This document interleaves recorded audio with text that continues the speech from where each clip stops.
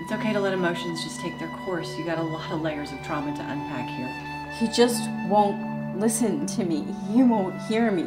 He just, he's supposed to be this paragon of perfection, right? Like this paragon of, of, of goodness and virtue and listening to everything everyone's whispering in his ears and, and they want to question me and my fidelity. That doesn't diminish your value. You know that, right?